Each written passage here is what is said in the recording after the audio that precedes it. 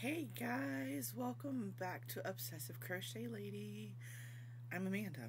I know it's been forever, um, and then some, but and I'm a little late today. I do apologize that this video is going to be late. Um, I have had a long work week, and I was exhausted last night. And laying in bed before I fell asleep, I was like, "Oh, I forgot to do my video." I'll just do it in the morning. So as of recording, it is 7.30 in the morning. It was supposed to drop at 3 o'clock in the morning, like it usually is, but it's been, it's been crazy. But anyways, you're not here to hear all about that.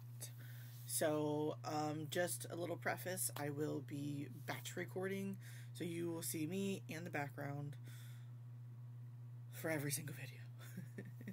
I hope you guys can hear me. Um, I am on my older laptop because my new one broke um, and had to be sent out to be repaired. Anyways, so I hope you guys can hear me. Um, so, anyways, you are here because today is the finale woohoo, of the Three in Glasses CAL. Um, so, myself, Rebecca from Suricata Crafts and Sam from Manfa's Makes started a crochet along. We call ourselves the Three in Glasses because we all three wear glasses. It's just a, you know, little thing we came up with. So, um, in the beginning, we decided to do a crochet along. We decided to make a shawl. We all picked a shawl pattern, and you guys voted you guys chose the Bella Vita shawl by Wilma Westenberg. Um, I will give you my thoughts uh, about that in a little bit. Um, so then Sam uh, decided that she would um, do the breakdown of the different parts um, of the crochet along so we all had content, we all had time to do it. Um, but if you've been following along, sometimes that didn't work out, which is fine. Um, but yeah, so Sam did that, and then we did it every two weeks. We did a catch up on it, and today is the finale. So if you guys haven't watched those videos, please go to Sam and Rebecca's channels. I will link them below. Um, please go to their channels and um, go look at their playlist. Uh, it'll be the Three in Glasses CAL. Um, and today should be, I think, the fifth video. So, there's some content if you need something to watch. So, mine. Um, Oh, I just had that little ball. I was going to show you guys how much I had left. Okay. Um, if you guys were at the live, you would have seen our shawls so far. This isn't mine. This is a different one. Sorry. I'm working, or that I finished. Just looking for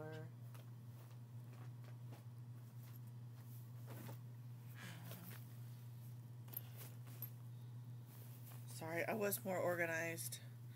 Everything just kind of exploded. Because I had to bring all of my stuff in here, like I said. I'm batch recording, so, like, this room is a hot mess. Anyways, well, whatever. So I had about a ball this size left. I used...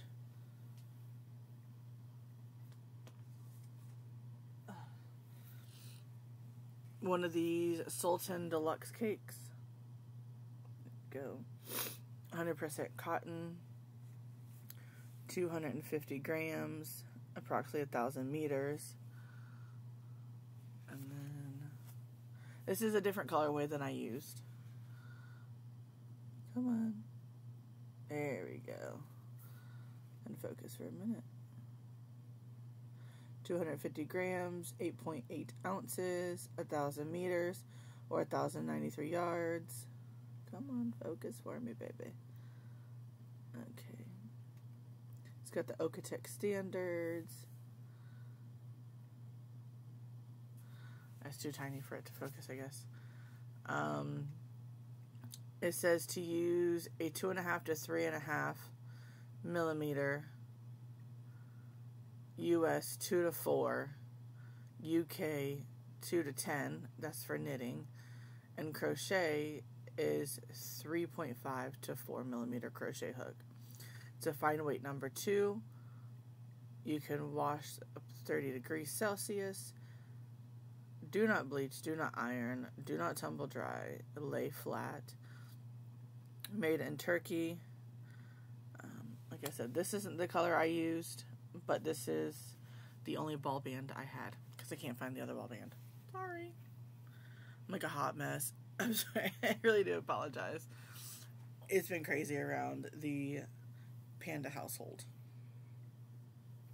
if you're new here, that's what they lovingly call me on the YouTube streets is panda.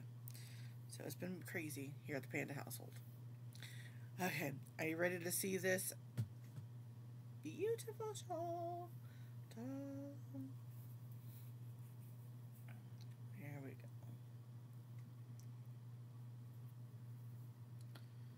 It goes down to a light lavender and goes light blue all the way to this deep dark blue. fold it together so you can see that. So this is my Bella Vita shawl. This will be gifted as a hug to someone very special. So you can wear it like this. Or you can have it. There you go. Like that. I need to weave in the end still. like I said, it's been crazy. So, and you can see the border. Now, the um, pattern called for 3.25 or 375. Um, but to meet gauge, I had to use a four and a half millimeter crochet hook. So, in turn, I had to skip a few rows. At the end, I ended up missing four rows. So not too shabby. Um, but I wanted to make sure I had enough for the border. Um, and I did. And I still had a ball left. But with the long rows, it wouldn't have uh, done two more because the ending two row. So you have to end on a specific row. So I would have had to do two more rows and then the setup round for the border and then the border and that wasn't enough to do all that. So I had to cut it short which is fine. It still looks beautiful. Love the colors how it gradiates. I'll show you again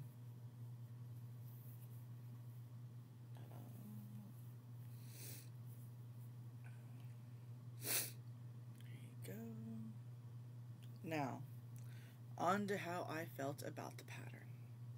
Okay. I love the pattern, the way it turns out.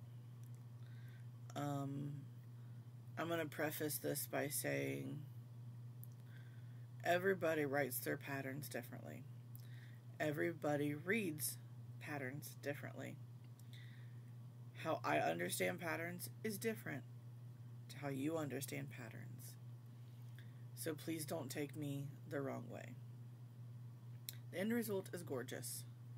Um, but the way the patterns are written are what I call shorthand pattern. It's very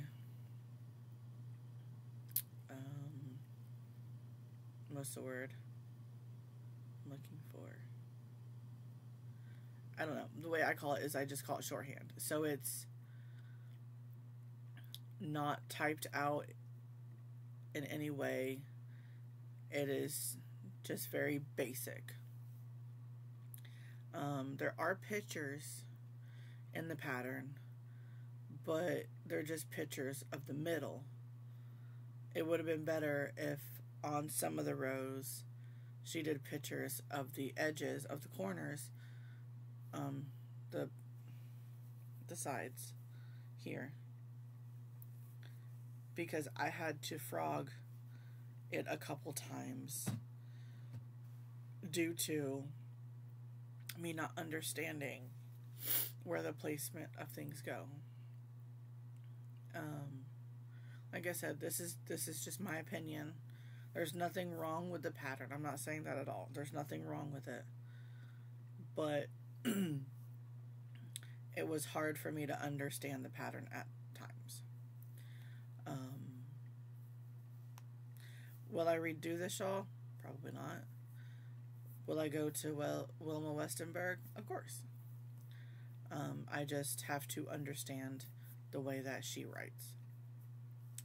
Um, another part that I did not like was you would have to do this row through this row and then when you get done to the down to the next row it is oh for the next da da da da rows you have to go back and do these rows. But on one of these rows you have to go back up to another row. So it was a constant up down up down up down. And with the ads playing it just kept bumping it and I just kept forgetting where I was, so I always had to count my rows. So it was just a hot mess. like I said, it's nothing against Wilma Westenberg. Please don't take it that way. It's just how I found the shawl pattern. Give me one second. Thirsty. That's just how I found the pattern. Um, some people may not understand my pattern that I created. So I get it. And everybody write like I said, everybody writes a pattern differently. So um, not knocking the pattern whatsoever, not knocking the designer. She's a great designer. She does more than I could ever do. So not knocking her whatsoever, but that's just how I found the pattern. But if you guys want to see everybody else's shawls, please go to Rebecca's channel, Suricata Crafts. She's done a wonderful slideshow of everybody's beautiful patterns and how they turned out. Um, go visit Sam at Manfa's Makes. She also has a video out today. You guys have probably already watched and said, Where's Amanda's video? Ta da! I'm here. Just a little late. But I hope you are all well. Um, I hope you guys enjoyed this CAL. I appreciate every single one of you that supported. I appreciate every single one of you that joined us. Um, I really appreciate the love and the support. It means the absolute world to all of us um, in this crochet journey. So. Once again, I do apologize for this video being late. Um, it is just sometimes how life is. Right? Right. um, yeah, like I said, we all have playlists, so if you guys are new to this, you know, go watch their play playlist as well. And if you don't know them, which I don't know why you wouldn't, but if you don't know them, please go subscribe to them. They are two of my bestest friends, and um, they're both lovely women. So, anyways, this is 15 minutes of me yapping. and um, like I said, I'm recording a bunch of videos. It won't be daily content, but it will be every couple of days. I try and do Monday, Wednesday, Friday, but sometimes I just do more. so it's all good. Anyways, I will talk to you guys in the next one. I love you all. Please, please, please don't forget one small act of kindness. You really never know what somebody's going through. Even if it's just a simple smile or a simple hello, that may be just what they needed today. I'll see you guys later. Love you loads.